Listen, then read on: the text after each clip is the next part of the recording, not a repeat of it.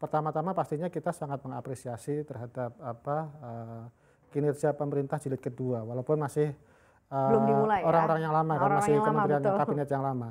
Uh, begitu selesai proses apa uh, pilpres, kemudian tidak tidak dalam jangka waktu yang lama, presiden sudah menerbitkan sesuatu yang kita rasa itu sangat uh, dibutuhkan oleh dunia industri.